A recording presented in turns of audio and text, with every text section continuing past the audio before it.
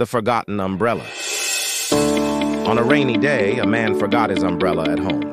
Drenched and frustrated, he sought shelter under a tree, where he met a stranger who shared their umbrella.